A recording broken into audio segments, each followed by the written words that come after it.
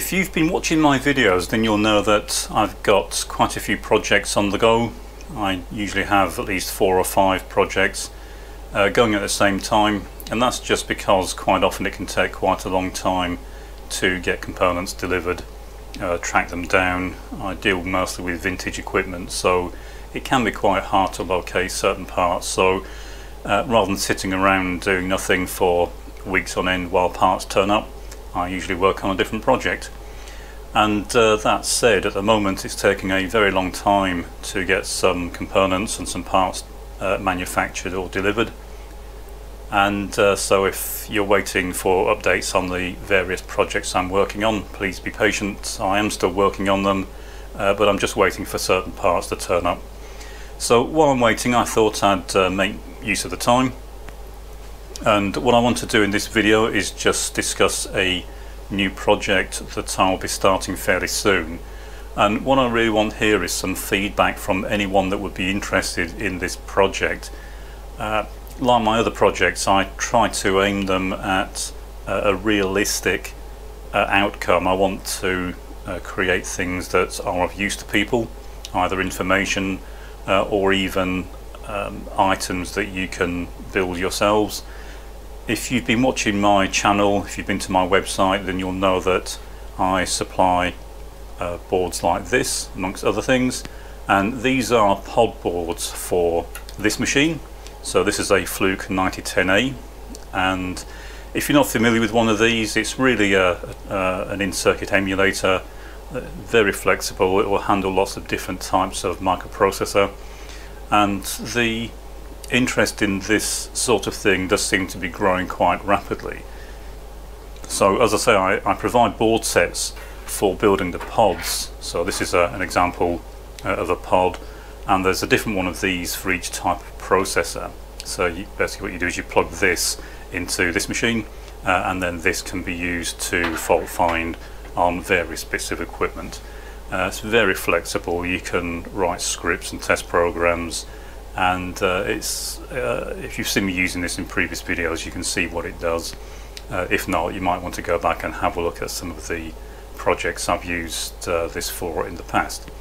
The problem is these are quite rare, they're getting very expensive and the cost just seems to be going up and up. And one of the problems with eBay is that uh, every time someone sells one of these they look at the price the previous one sold for at a few pounds and it gradually ramps up the cost and uh, they're getting a bit uh, ridiculous at the moment. Um, one thing I've discussed in the past and something I've been asked quite a few times is whether I would be able to reproduce the main board for this machine. Uh, so rather than just produce the pods, would I be able to create the main board that um, the main unit uses? And the answer is, of course, yes, it would be quite easy to do that. But there are some problems that uh, would be encountered by somebody wanting to build one of these. And that's what I want to look at in this video and get feedback from yourselves. There are some options that um, we could go with, but really it's a, case of deciding what people uh, would want to uh, use and build.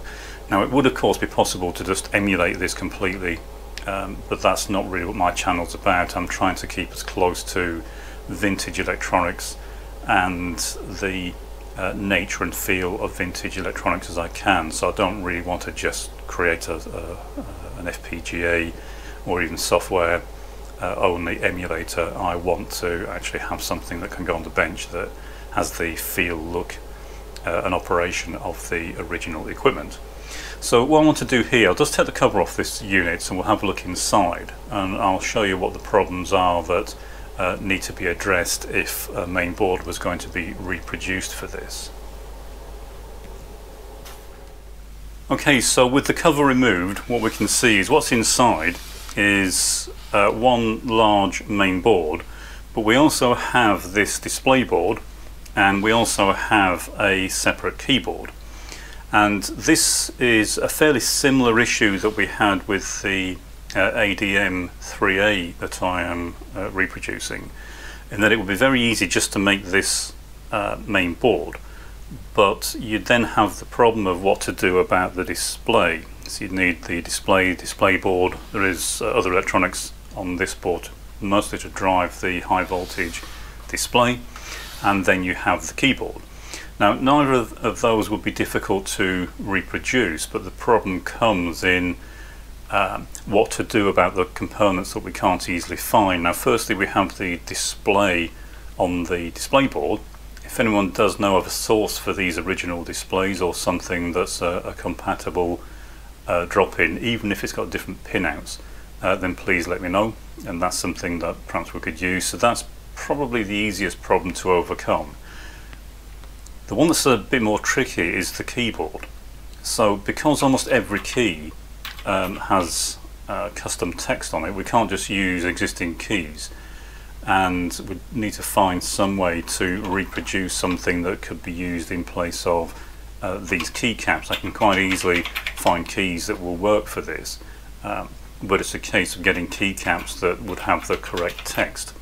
And uh, of course there is also text on the, um, the background and the cover for the keyboard. So they're the main issues. The rest of it is very easy to reproduce. It would be very uh, straightforward to do the rest of it. It's quite a big board. It does actually cover the entire uh, base of the machine. Uh, there's not a huge amount on There's quite a few components, but it's not a huge amount on there. And it will be quite straightforward to reproduce that board. So the main board's not a problem, um, but would need to decide what's acceptable for the keyboard and the display. So any feedback on this would be uh, welcome. Uh, as I say, the main thing is the keyboard. Now it could produce a, a touch panel overlay, but the tooling for that's expensive, so unless we start making hundreds of these, then um, the, the tooling charge would be exorbitant. It'd be about £2,000 set up a tool charge to make a, a, touch panel for this, a key panel. And uh, the problem we have there, of course, is they're not mechanical keys and they can be a bit of a pain to uh, to use when you're testing because you've got to be careful how you press them and it um, can get a bit uh, irritating trying to use them. So mechanical keys are far better, um, but some solution would be needed for uh, how to identify the uh, individual keys. Uh, if anyone out there knows um, where custom keycaps can be uh, produced or if they have the ability to make custom keycaps and want to collaborate on this then uh, again please let me know. Uh, otherwise um, as I say this video is just to explain why I have not yet reproduced this um, uh, main board and this system so the, the pods are quite straightforward because all the parts can be obtained um, but with this, some consideration needs to be given to the um, what amount of custom parts that Fluke made. So, as I say, any uh, ideas or feedback on this would be appreciated. Uh, there's no point in making main boards for these. They might be useful for someone wanting to repair one, uh, but that doesn't really address the issue that I'm trying to address of uh, making these units more widely available to someone that wants to, to build one of their own. Uh, I wouldn't be reproducing the case, the enclosure, uh, or the metalwork, it would just be the PCBs. And um, a similar solution possibly to the ADM3 where a separate uh, keyboard is made. Separate uh, display board would be easy to make, um, even if we don't go for a uh, electroluminescent uh, display then certainly discrete LED displays could be used or, or even a, a, long thin um, LCD could be used. Uh, there are plenty around at the moment, uh, OLEDs, that sort of thing. So display's not a problem, it's mainly the keyboard that we need to try and find a solution for.